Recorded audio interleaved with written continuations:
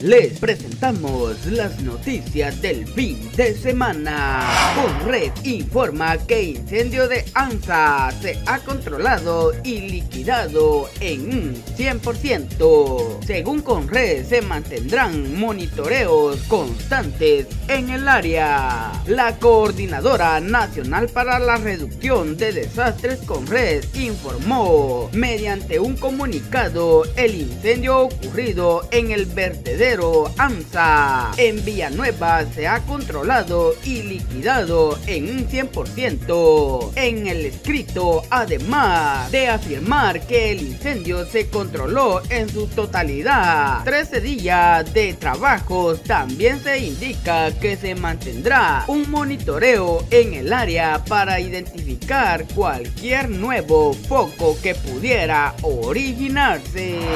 En Izabal, accidente a la altura de Champona. Persona se accidenta y muere al volcar su vehículo. Fue identificado como Juan José Morán Escobar, originario de Jutiapa. Su cuerpo fue trasladado al INACI. Familiares, para más información, puede comunicarse al 4820 3684 o al 4704 56 45.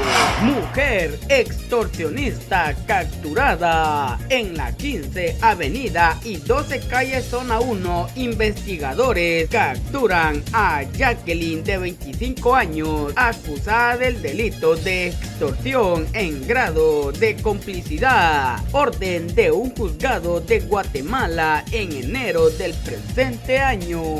En este año van 492 extorsionistas capturados. Otros casos, procedimientos. En la zona 2, Colonia La Independencia, Escuintla, fue aprendido Ángel de 20 años. Portaba un revólver con el número de registro esmerilado. En Malacatán, San Marcos, fue detenido Pedro de 50 años, acusado del delito de portación ilegal de armas de fuego de uso civil o deportiva en un allanamiento realizado por policías de la SGAIA en el barrio Amate, Cabañas Zacapa, fue detenido Edin de 46 años. En su vivienda fueron localizados 120 colmillos con cocaína y 1710 quetzales. En Mazatenango,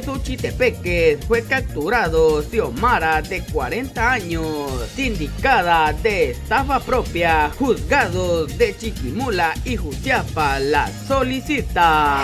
Abren tercer canal temporal en puerto de Baltimore destinado a buques comerciales. El canal bautizado como Fort Caroy restaurará aproximadamente el 15% de la actividad comercial.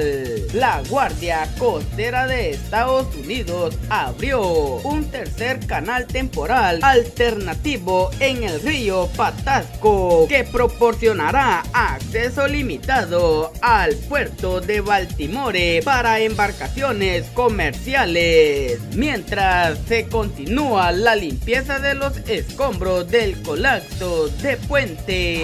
Para más información visita nuestra página isabalensetv.com. Desde la ciudad de Puerto Barrio, reportó Orlando Ramírez para Isabalense TV y Radio Feilo.